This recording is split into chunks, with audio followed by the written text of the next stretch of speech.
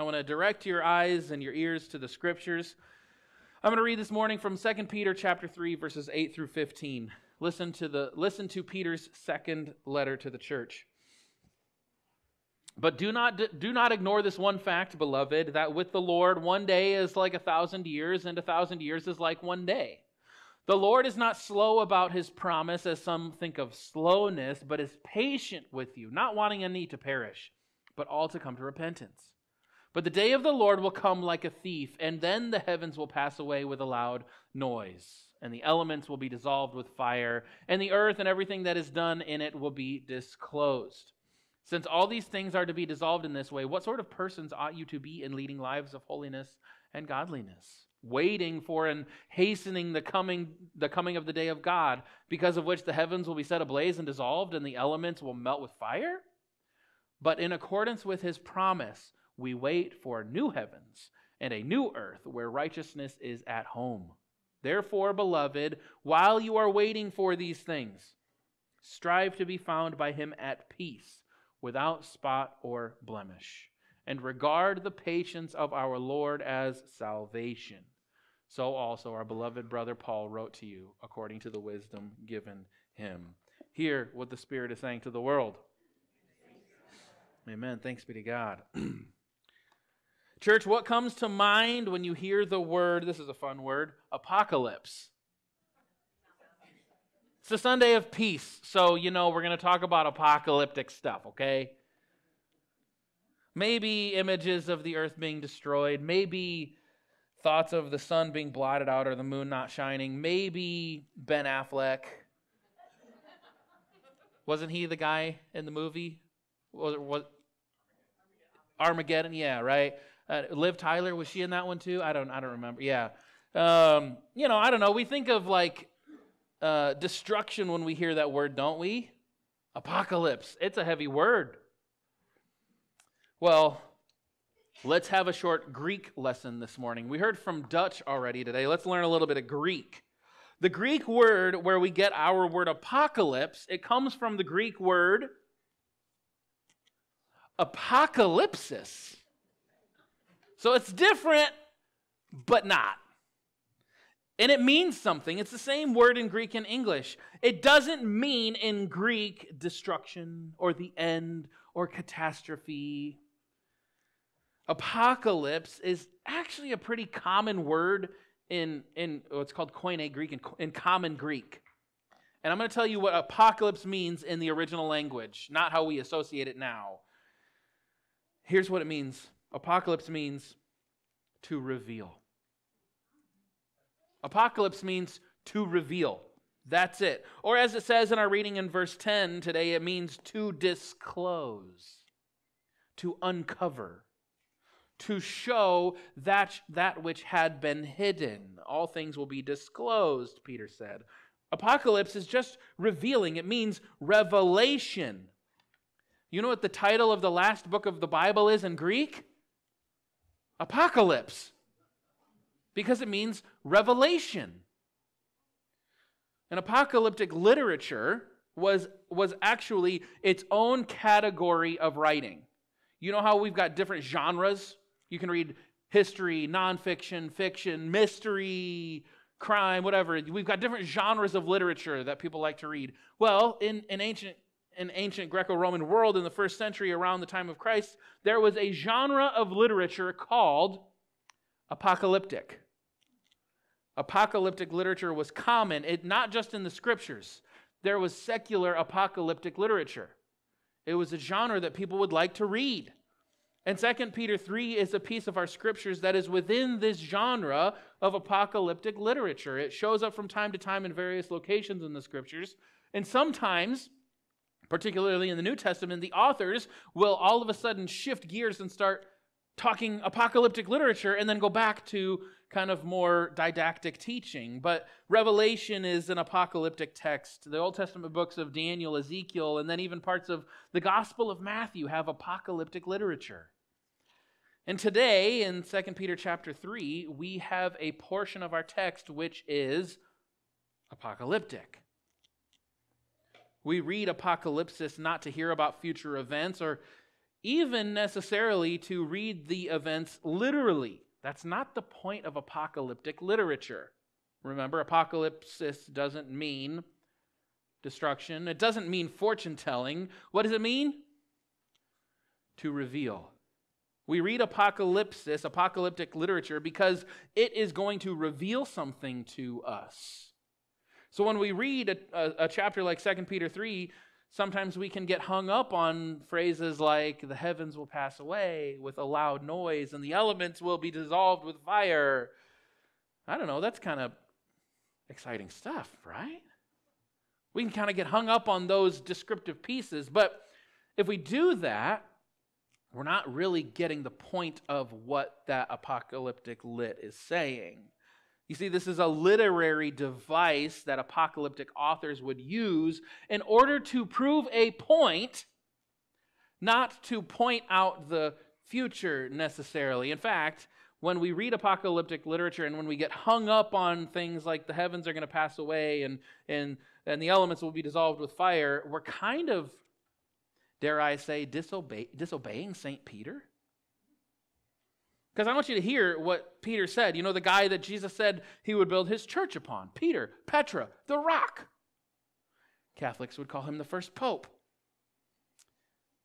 Because he says in verses 11 and 12, he asks a question. He says, since all these things are to, since all these things are to be dissolved in this way, what sort of people ought you to be in leading lives of holiness and godliness, waiting for and hastening the coming of the day of the Lord, because of which the heavens will be set ablaze and dissolved, and the elements will melt with fire? We got it, right? We know what he's saying. This is supposed to be one sentence in Greek. But it's really, it's got a really complicated sentence structure.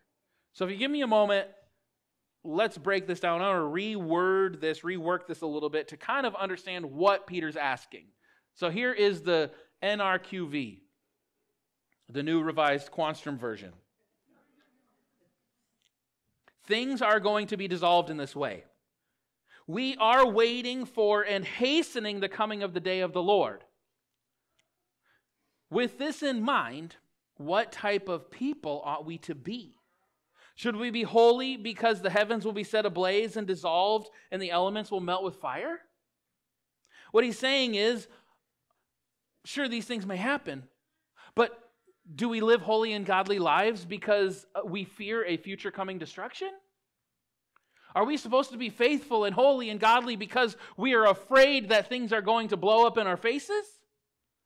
And then in verse 13, he provides a corrective. He says, In accordance with Jesus' promise, we await new, a new heaven and a new earth.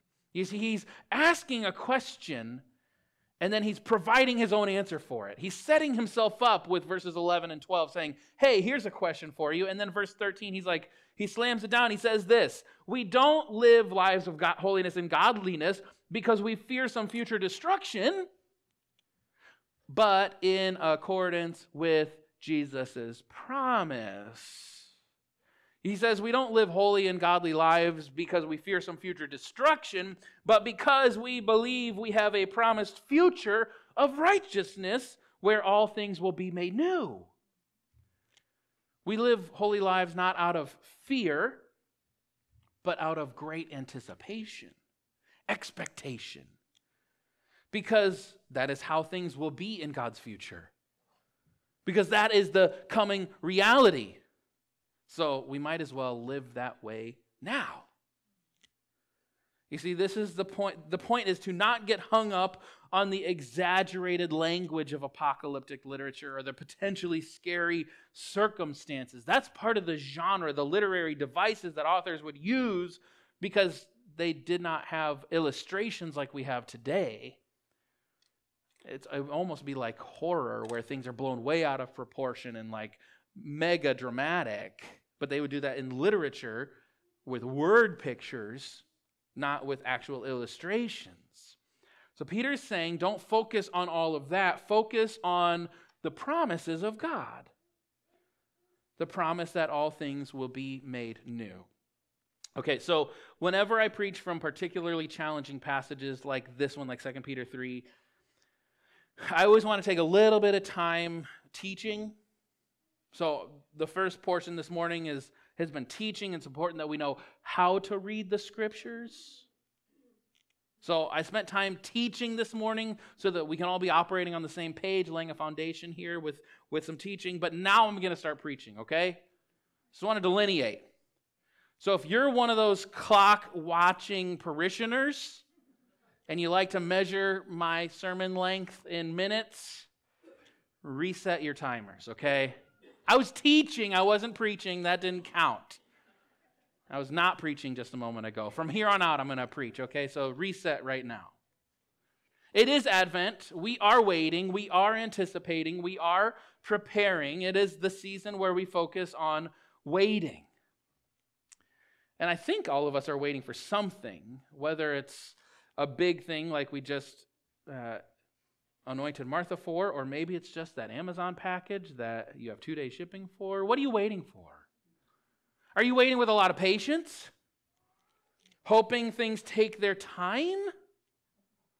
Or are you waiting with eagerness? Because, you know, the thing we are waiting for will dictate how we wait. These verses are about how we wait.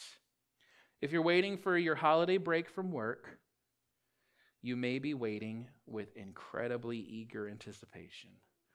I feel like my wife said that to me this morning that she's so excited about Christmas break. I mean, it just can't come soon enough, right? Ready to get a break from work, to go on a, a little trip, maybe. Maybe if you're waiting to hear back from that job interview, you might be on pins and needles. Come on, are they going to call me back?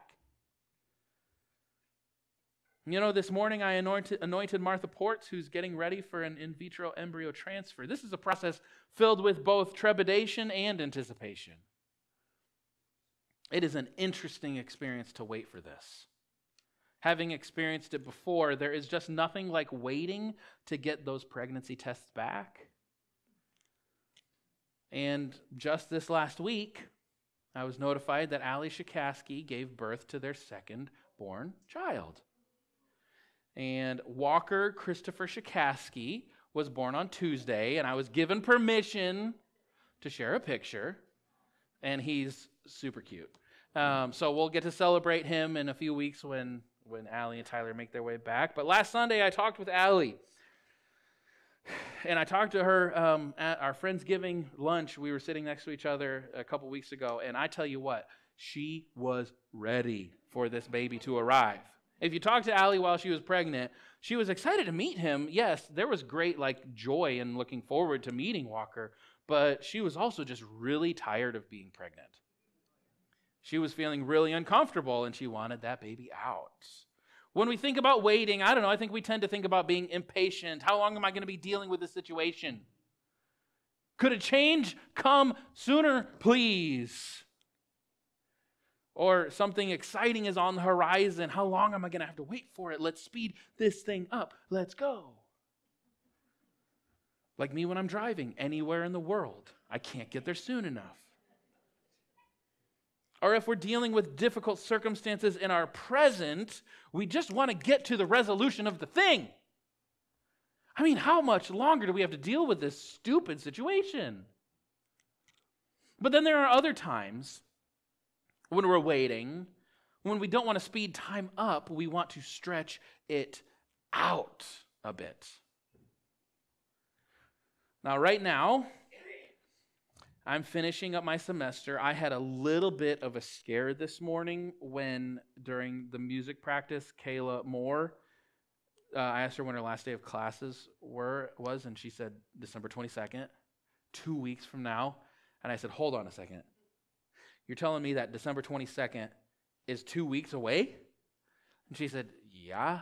And I said, Okay, that needs to be, I thought to myself, I thought that needs to be a lot longer than two weeks because December 22nd is when I have my paper due for my PhD class at Calvin Seminary. I have to write a rather large paper. I wrote in my manuscript this month, and I learned this morning that it's in two weeks. And I'm not as far along as I should be. I'll say this Advent and the end of a semester are a really bad mix. They don't work well together when you're in, and when you're in the pastorate. But do you know what my waiting looks like right now? I'm not saying, how soon can we get this thing going? I'm not saying, hey, can this happen faster? You know what I'm saying? Hold up a minute. I, I, a little bit more time would be nice. I'm not done here yet. I have a little bit more work to do. Can I have a little bit more time? And the truth is, every semester this is what happens, and every other semester I've taken an extension on my final papers. And thanks be to God that the seminary has been gracious enough to extend more time. They have been patient with me. And just this week, uh, we heard word that Reen LeClaire has entered hospice care. This type of waiting is not an impatient waiting. This is a, a longing for more. You know, as, as we wait with Reen, we say things like, Can we stretch time a little bit more? Can we get just a little bit more time in this moment? Anyone who's had a loved one enter hospice care knows that longing for time to slow down. I'm not done yet. There's more work that I want to be done. And so we have much more patience when we're waiting in hospice with our loved ones. You see, there are other moments where we don't say, let's speed things up, but instead we say, can we, can we pump the brakes? Can we slow things down a little bit? And when we think about the arrival of our Lord, when we think about his second coming, which is what Advent is all about, we are truly expecting a good and beautiful existence. We anticipate a time where wars will cease. I don't know about you, but I'm very much looking forward to a day when there will not be wars or rumors of wars. I'm only 36 and I'm sick and tired of wars. I honestly cannot tell you a time in my life when I've not been in a moment where that has been happening. And it hasn't, and it's flooded my news feeds all over the place.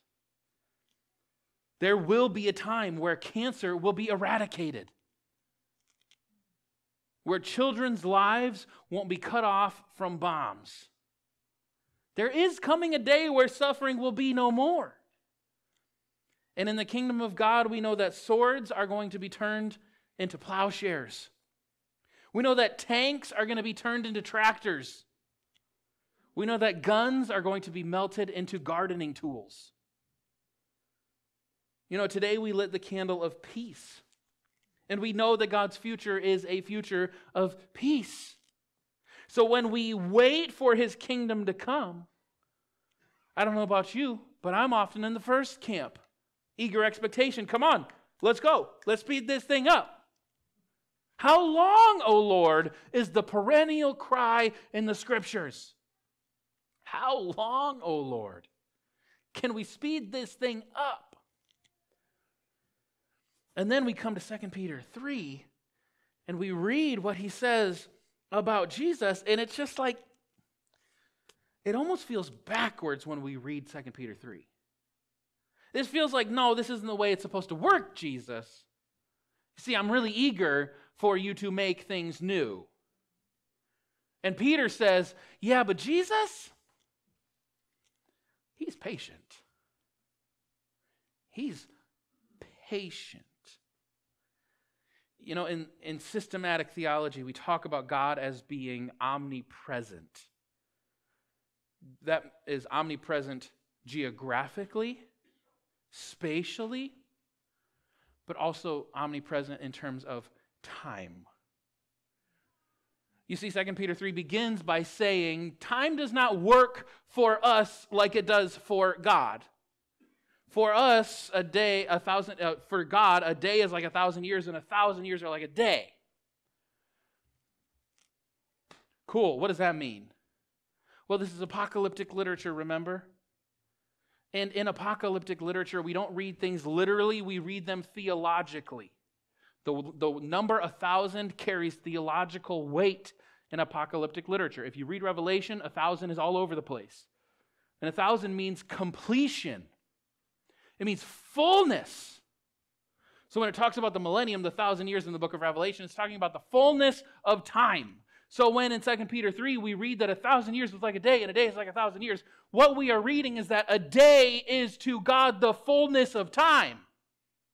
And the fullness of time, the completion of time, is every day.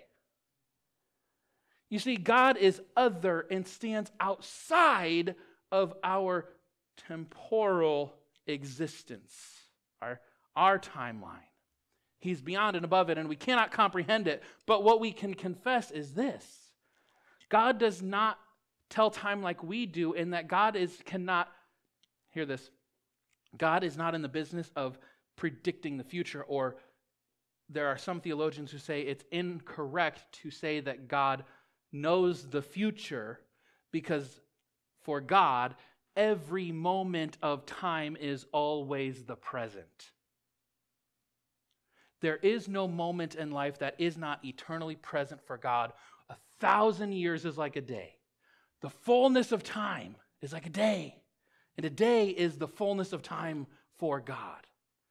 God steps outside of our temporal existence, and for Him, all things are always now. Every day is always the fullness of time for God. Peter says that the one who stands outside of our understanding of reality, who for for our this day is the fullness of time and the fullness of time is a day he says that the patience of that one is salvation did you hear that in, in verse verse 14 and 15 there at the end the patience of our lord is salvation now that's a line church there is so much in that one phrase. The patience of Jesus is our salvation. What this means is this Jesus has time for his disciples to do the work that he has asked them to do. Jesus has time because, as this passage says, Jesus does not wish that any would perish, but that all would come to repentance. As Peter says, Jesus is patient, not slow. Because Jesus is very content to wait for all people to come to repentance. Jesus is patient because he doesn't wish that any would perish. Jesus wants everyone Hear that, church. Everyone. Does all mean all? Yeah. Jesus wants all peoples, all persons to come to a right relationship with Him and with others. Jesus wants all to be saved. Jesus does not wish that any would perish, but that all would come to repentance. You see, Jesus is a hopeful universalist. Jesus wants everyone to be saved. There is none that Jesus doesn't want to be a part of his kingdom, not a one. Jesus wants every single human being to come to repentance and be a part of his people. And guess who he has given the task of sharing that good news? Can we take just one moment this morning to distinguish between good news and fear mongering? Can we take just a moment and talk about what it means to share good news? Because sometimes I'm afraid the news that gets shared isn't always good. I said at the beginning of this message, during the teaching, teaching portion before I started preaching, remember, I wasn't preaching back then. Let me say it again. We don't live lives of holiness and godliness because we fear some future destruction, but because we know that we have a promised future of righteousness where all things will be made new. What Peter is saying here is the good news is not potential destruction. The good news is promised life. We don't share the good news in a way that is based on fear and condemnation, but built upon the promise of God. You see, the good news is this people are already beloved. You were already loved before you knew who Jesus was. You were already loved by him. You were his beloved while we were yet sinners. This is not a meritocracy here, church. Nobody earns their way into this kingdom. Grace is unfair because you don't earn it, it's given to you. You are already perceived as lovely and valuable and worthwhile by God. I'm telling you, before, before sin entered this world, God said about his creation, about humanity, God said, This is good. Pastor Brian Zahnd has said,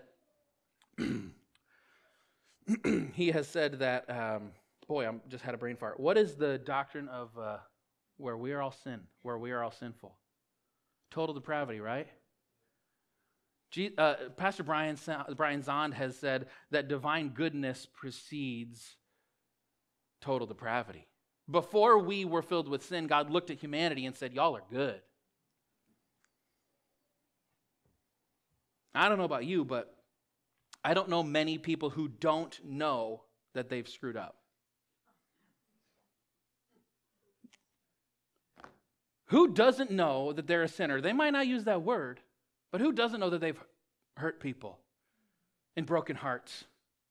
There are two people who, who don't know that sociopaths and narcissists. I don't know many people who don't know that they've, they're broken in some way. You see, what I think people need to hear is not that they're broken. I think people know that. I think what people need to hear is that they're beloved that there is an invitation, that there's a welcome, that there's a place for them. You see, Jesus said, Before y'all were saved, I gave my life for you.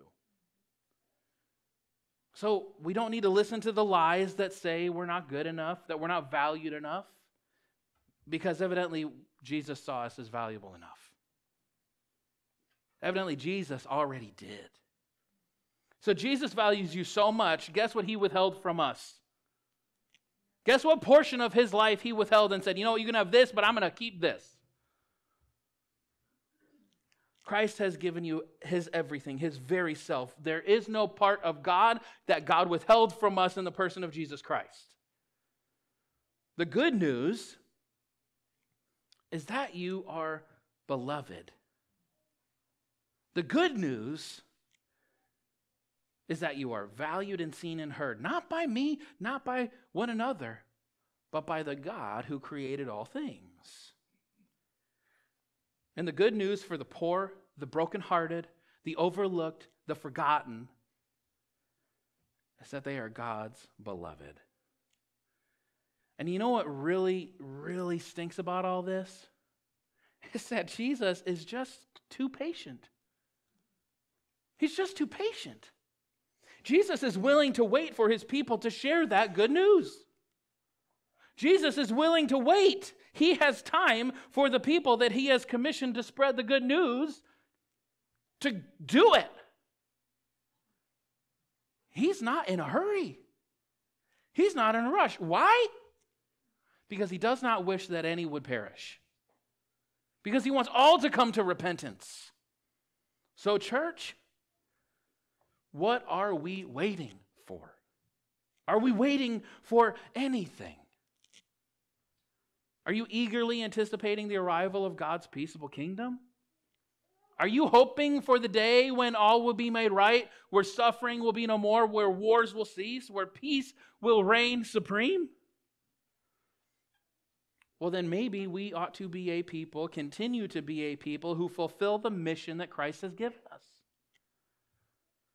making disciples of all people, sharing good news to the poor, from Luke chapter 4, bringing good news to the poor, bringing release for those who are in captivity, and bringing liberation for the oppressed. You know, the truth is, apparently, according to Peter, the more we share the good news, not the bad news that often falls off the lips of those who love Jesus, when we share the good news that people are beloved and can be made whole and holy, guess what? The sooner Jesus will arrive. We hasten the day, he says. We are to be those who wait for and hasten the coming of the day of God through the sharing of the good news that Jesus wants none to perish, but all to come to a right relationship with Him through repentance. So, what are we waiting for? Jesus is patiently waiting for you and for me to not sit on our hands, to get off our butts, to tell people just how much He loves them. What are you waiting for? Jesus' patience is salvation. And that is the good news of Jesus Christ for us today.